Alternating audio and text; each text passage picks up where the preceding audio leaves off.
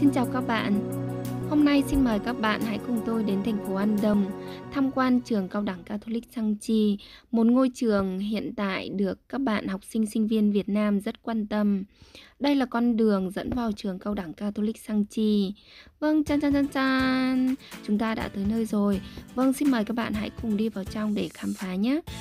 Trước tiên chúng ta hãy bấm tầng 3 để lên trung tâm đào tạo tiếng Hàn và phòng quan hệ quốc tế. Bây giờ chúng ta hãy tham quan phòng học dành cho các bạn du học sinh quốc tế nhé.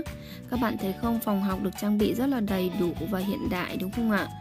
Còn đây là khu vực nghỉ ngơi sau những cái giờ học dành cho các bạn du học sinh quốc tế. Ở đây các bạn cũng có thể sử dụng máy vi tính và các bạn có thể ngồi đây để trò chuyện và ăn uống. Vâng, à, và tiếp theo bây giờ chúng ta hãy cùng vào phòng à, quan hệ quốc tế để gặp à, viện trưởng nhé. 상지대학교 한국어학단 교육원장 김양희입니다. 네, 여러분 베트남 학생들 여러분 어, 저희 학교에 지원해 주셔서 감사하고요. 어, 입학하시면 필요한 것또 어, 희망하는 어, 전공 위해서 열심히 교육하고 어, 도와드릴 테니까 걱정하지 ma세요. 화이팅! Và bây giờ chúng của trường nhé.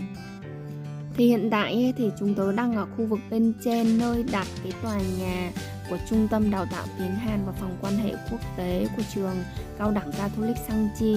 Bởi vì khuôn viên của trường rất là rộng, rộng lắm các bạn đi ờ, cả nửa buổi mới hết được nên là chúng tớ chỉ tranh thủ quay cái khu vực ở bên trên này thôi.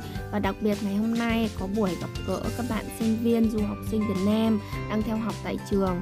Và chúng tớ cũng không quên đi khám phá cái khu du lịch nổi tiếng của thành phố An Đông. Và ngày hôm nay cũng xin giới thiệu với các bạn, đó là cái quán ăn rất là nổi tiếng ở thành phố An Đông, đúng không? Lấy cái tên quán ăn đây là An Đông Chim Đọc và ở thành phố An Đông thì cái món ăn nổi tiếng nhất đó là cái món ăn về thịt gà. Tim này các bạn ạ. Vâng và món cô tư ngơ.